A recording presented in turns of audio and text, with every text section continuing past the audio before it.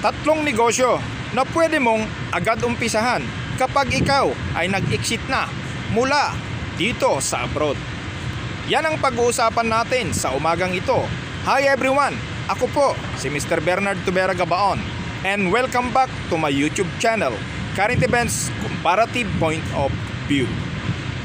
Yun nga po mga kabayan, tatlong negosyo na pwede mong umpisahan kung ikaw ay mag exit na at kahit ikaw ay nandiyan sa Pilipinas kung interesado ka sa tatlong negosyo na ito ay pwede mo nang umpisahan dahil ang negosyong ito ay walang kalugi-lugi. Dahil ang negosyong ito, maliit lamang ang puhunan. Madali lang itong imanyobra o i-operate. Ano nga ba ito? Kabayan, abangan mo ito. Napaka-importante ito. Pero bago tayo mag-umpisa, ay gusto ko munang i-shout out si Pinoy Truckers, Chris Vistosa, Chris Lagwe, lahat ng aking mga subscribers, lahat ng aking mga viewers, at lahat ng mga taga Candon City, sa aking family, family Gabaon, at Galot family. Yan nga po, unang-unang negosyo, heto na po, ang unang negosyo na sinasabi ko, dito ay hindi ka magluluto. Dito ay hindi ka gagastos ng malaki. Ito, ang kailangan mo lang ay iyong sasakyan at iyong knowledge kung paano makipag-communicate sa mga farmers at sa mga komersyante na nagbebenta ng mga produktong ito. Una sa lahat, ang unang-unang gawin mo ay pumunta ka doon sa mga farmers na nagtatanim ng mga gulay. Alamin mo kung magkano ang presyo na pinambibili ng mga pumapakyaw ng kanilang mga gulay. At pumunta ka din doon sa bagsakan dahil ang negosyo mo Bumili ka ng bultuhan na gulay at ibagsak mo sa wet market. Alamin mo kung magkano ang presyo doon.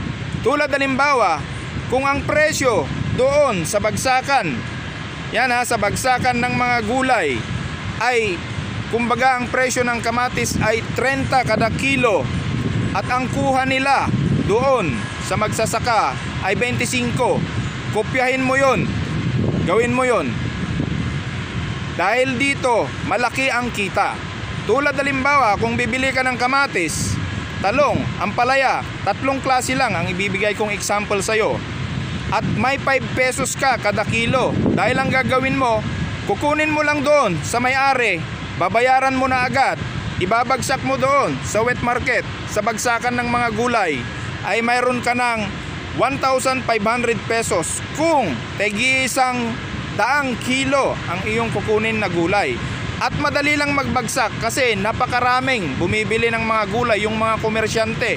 Pag bumili yan, sinacycle din nila ang kanilang pera.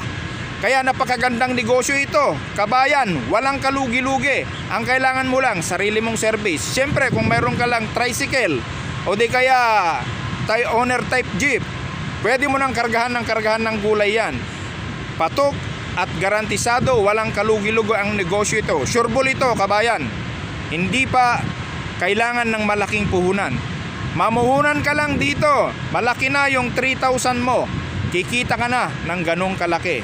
Yan ang unang-unang gawin mo, kabayan, kung ikaw ay nag-exit at kung ikaw ay nagplaplanong magnegosyo, kabayan, kung nandyan ka sa Pilipinas. Gawin mo ito dahil napakalaking tulong ito. Pangalawa, ang pangalawang negosyo ay napaka-importante din ito alam mo ba ng mga Pilipino mahirig din sa pagmemeryenda? Kaya't ito na ang gagawin mo, mag-reseller ka. Una-una sa lahat, lalong-lalo na sa masa. Kasi sa masa, talagang nagmemeryenda yan ng mga chichiron baboy, kropik, yung chichiron manok. Talagang yan ang patok na minemeryenda nila. Binibili nila yan. Bukod sa mura, ay uh, masarap pa. Pwede rin pang ulam yan. Inuulam yan ng mga kapwa ko mahirap at idagdag mo na rin sa iyong pagre-reseller. Magre-reseller ka na rin ng mga tinapay na pambakery tulad halimbawa ng sliced bread munay, Spanish bread, ensimada, pandikoko. At marami pang iba. Napaka-importante yan. Malaki ang kita mo dyan. Sa isang supot ng uh, loaf bread ay kumikita ka dyan ng mga 3 piso hanggang 4 na piso. Eh kung bulto-bultuan yung kukunin mo ganun din isusupply mo i-study mo yung barangay mo, yung katabing barangay para makita mo yung geographical location ng iyong barangay. Doon, Kikita ka dyan. Wala kang masyadong maraming puhunan dahil pagkain yan, patok na patok yan. Hindi malulugi yung negosyo mo pagka ganyan. Bubabagsak yan o pumapatak na para kang rolling store ng tinapay. Titignan mo, hindi lang hindi lang mga sari-sari store ang pwede mong deliveran. Pwede mo ring deliveran yung mga personal na tao kada bahay ialok mo. Dahil dito, kikita ka ng maganda. At ito, pwede mo nang magbigay ka ng palugit dahil isa kang negosyante. Alam mo kung paano mo pagulungin, paikutin ang iyong pera. Gawin mo, ibigay mo yan ng 7 days, magbigay ka ng Sabado, mangungulikta ka ng Sabado. Yan ang iyong gawin. At dyan makikita mo ang maganda mong negosyo. At panghuli, pinaka-importante, itong panghuli. Dahil ito, kung gusto mong i-expand ang iyong negosyo, ay pwede kang gumawa o magnegosyo ng isang rolling store. Pero sa rolling store, kailangan mong mag-umpisa ng maliit. Pag-aralan mo pa rin ang iyong mga katabing barangay bago ka mag-expand. Dahil ang geographical location mo ay napaka-importante. Isipin mo ang mga cluster na pangangailangan ng tao. Dahil sa culture ng mga tao, tulad halimbawa sa aking barangay, doon sa Candon City, limang barangay ang magkakatabi. Ah, ito, Waigdaya, Bagani Gabor, Paryok Segundo, Paryok Primero at Bagani Ubbog. Yan, isang aming pangangailangan, mga agrikultura kami. Kaya't mag kaya't mabili ang mga dilata, mabili ang mga tinapay, mabili ang mga pangulam, pagkain, mabili sa amin yan. Lalong-lalo na yung ikokonsumo ng mga farmers sa umaga, sa hapon at sa gabi. Yan ang iyong pag-aralan. Pag alam mo na yung ah, geographical location mo at alam mo na yung cluster na pangangailangan ng pangangailangan ng tao sa iyong barangay, sa mga iyong katabing barangay, tiyak papatok ang iyong negosyo. Wala kang lugi dito dahil ang mga ibebenta mo hindi masisira. Yang tatlong yan na negosyo, mga kabayan, ay napaka-importante sa buhay. Lalo na kung ikaw ay nagbabalak na mag-exit. Dahil mahirap na mawala ang ating pinaghirapan na pera. Dahil napaka-importante, kabayan. Mahirap ang magpagod dito sa abroad, lalo na nandito ako sa Saudi.